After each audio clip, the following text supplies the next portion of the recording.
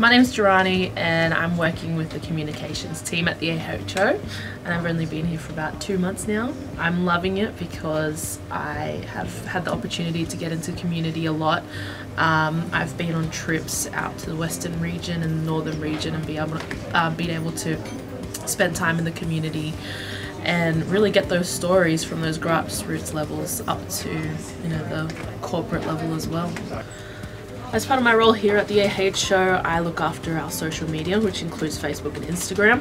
I'm also looking after our newsletters, which is sent out internally and externally. And we also have a new website, which we love and have got a lot of uh, really good feedback from.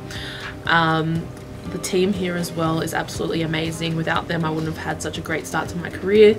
And I really thank them and encourage anyone who is interested in becoming a part of our team to apply.